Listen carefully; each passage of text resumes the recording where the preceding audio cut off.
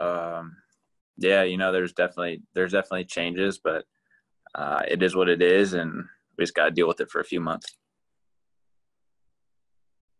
Christian, can you share some of what you guys were told? Like the NBA is in such a bubble, you guys are not as in as strict a bubble, but like you going out for lunch or are you just staying in the room the whole time? What what have your instructions been? Uh, I mean, we're not really supposed to. Um, we can get stuff to go, but we're not really supposed to hang out in any restaurants or anything like that. And it's kind of on us just to stay healthy and make sure that uh, we keep passing those COVID tests every other day and um, owe it to each other and teammates and uh, just take responsibility for this shortened season and, and make sure we all make it through. Christian, there's usually so much like emotion and pomp and circumstance and excitement going into opening day. What's it like going into this one in, in such a weird, strange, different year? Uh, it's going to be a quiet opening day, probably. I mean, we're going to have another team and it'll be opening day, but uh, we'll see if it has this. I don't know if it'll have the same energy and atmosphere and all that, but uh, something that we're expecting, prepared to deal with. And um, it's definitely exciting, though, to, to play some games that count and uh, get back to semi normal year. Christian, do you feel ready personally with the opener tomorrow? Yeah, as ready as we're going to be. Um, you know, it is it's a, a, shortened camp, and everybody knew that coming in, and uh, feel healthy, feel ready to go. So excited to get started.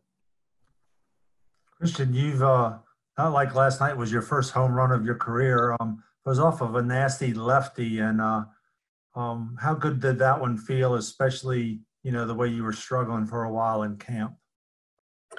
Uh, I wasn't struggling. I was just doing my best Bob Uecker impression. He wasn't there, so um, we had to make sure that he was able to to be a part of that somehow. So I took it upon myself to to try and reenact some of his abs. And um, but the last couple days, we finally started feeling a little bit better and um, made progress. I felt like every day the results really weren't there, but the the comfort level was starting to come back, and um, hopefully we uh, we got it figured out before uh, opening day, and uh, the homer made it there right at the buzzer.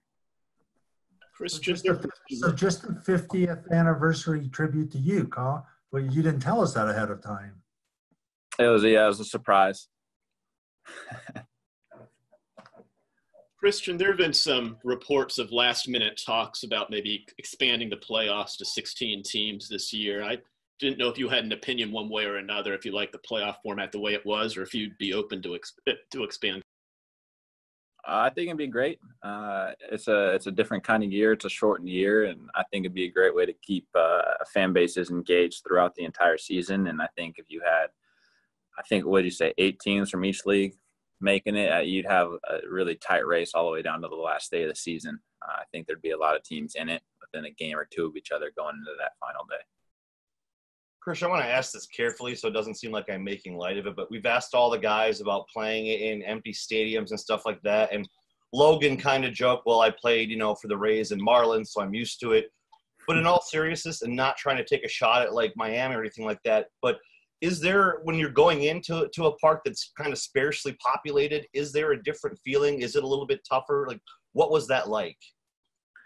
Uh, it's tougher when you're the the team that does it every day um, when you're the team that just the season gets long and it grinds on you a little bit when you're the team that's playing in the empty ballpark every day. When you're the visiting team and you go there for three, four days, it's not really that big of a deal just because it's a small part of your, your thing. You're there to play the games and um, try and win, and you're out and you go play in, like for us, we go play back in Miller Park or something where there's 45,000 fans and we're good. So when you're the visiting team, it's not that big of a deal. When you're the home team and, and you're the team that wears it um, day in and day out, and you go out there and there's nobody there.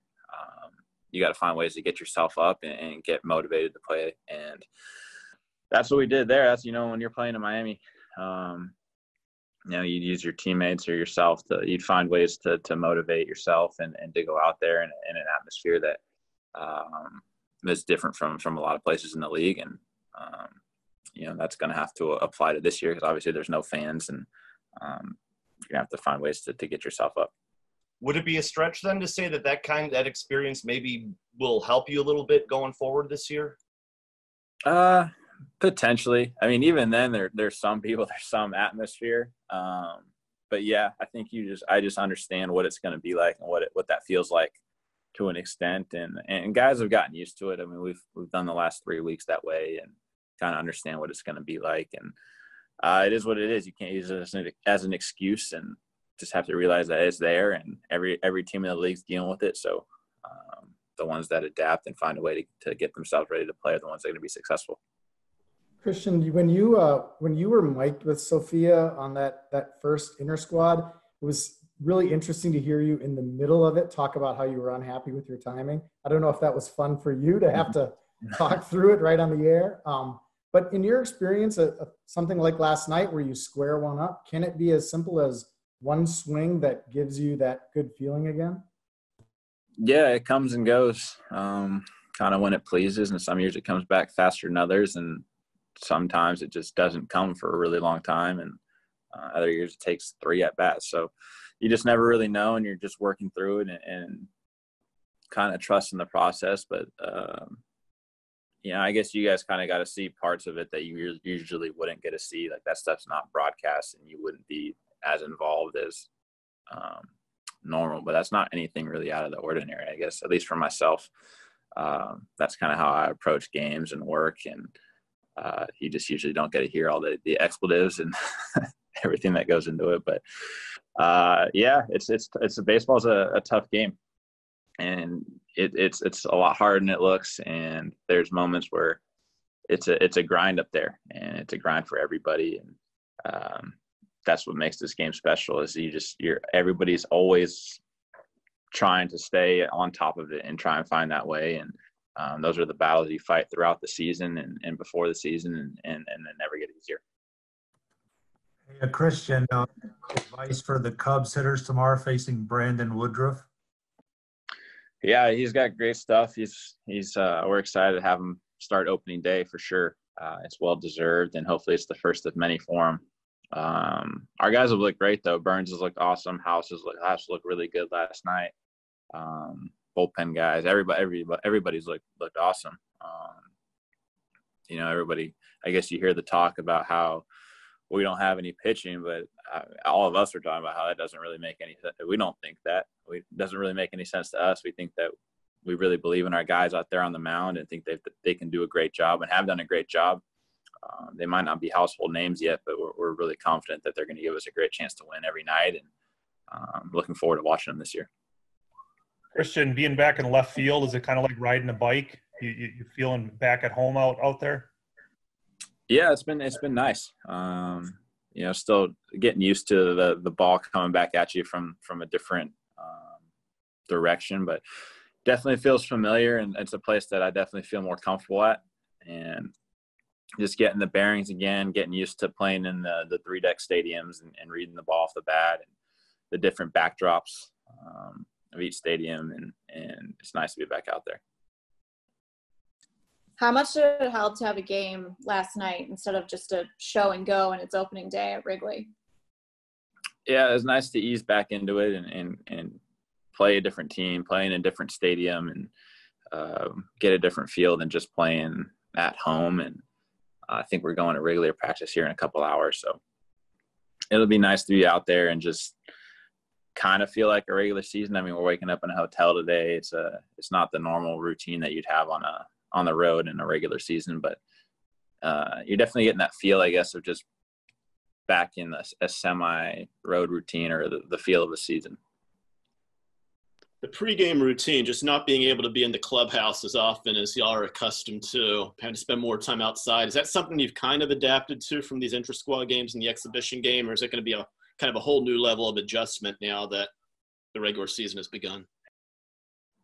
Uh, it hasn't been too bad, but you just got to deal with it. I mean, there's nothing we can do about it. You have to abide by it, and you have to find a way to to prepare and get get ready to play. And it's definitely not regular or how you would really go about it in a normal season, but it's really not too big of an inconvenience. And we've had these three weeks to get used to it and and see what it's going to be like and go from there, honestly. And like I said earlier about the fan thing is that you can't use it as an excuse. It is what it is. It's the same for everybody. And you just got to adapt. Christian, do you have any comment about Ryan playing one game and getting on the opening day roster? Uh, I mean, he said he's ready and, and, feels good and is ready to go. He said he doesn't need a lot of at bats, so uh, hopefully he's he's healthy and ready to go, and uh, he can help us win some games. Christian, uh, playing two weeks of inter squad games against your own team, does that make a hitter feel a little un- more unsettled than coming out of a regular camp with 30 exhibition games against other teams? Like, it's just such a weird way to prepare. Does it make you feel a little more unsettled going into the season? I mean, I definitely you're right about it. It's not being it's not the normal preparation time. It's not how you'd usually go about getting ready for a season, but it's what we had. It's what we got to deal with, and uh, for the most part, it's just getting your body in shape and getting ready to play every day and, and, and bounce back, you know, night game after day game. And we, we simulated that and playing back to back to back days and just getting those feels. And I think we're able to accomplish that. Uh, we knew going in, you're not going to have whatever it is, the 28 to 30 spring training games you'd usually have before season. Um, it is what it is though. And, and then like with all these things, it's like, Hey, it's not an excuse. Everybody had the same amount of time. We're all in the exact same boat. So it's about finding a way. And I think everybody's prepared to play. Uh, you know, nobody said that they feel unprepared or they're not ready to go. I think we're all we're all fine. We're all ready to go, and, and we're excited for uh, the first real one tomorrow. Christian, how do you view your uh, role in like giving people some relief from the pandemic and entertainment? And they look forward, obviously, to seeing you and hearing Bob and stuff like that, versus putting yourself and your teammates at risk with what's going on.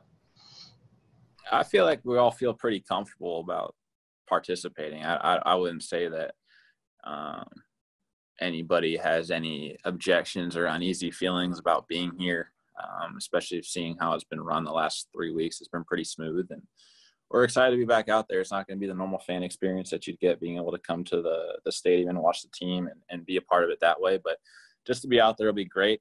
Uh, yeah, I've seen some of these games on TV, and it, it feels like a normal game, kind of when you're watching it, just without the fans and the main difference is when you're in the stadium, it's it's a lot quieter and there's not that same atmosphere. But as far as watching it from a fan standpoint, it'll be pretty pretty much the same as a as a regular year. So um, we're excited to be back out there and provide some entertainment, especially in a what's been a tough year in, in 2020. Christian, thanks a lot for uh, joining us, and uh, we're sure that you appreciated your tribute. Yeah, he's a great guy, man. So you know, just just doing anything we can to include him in the season.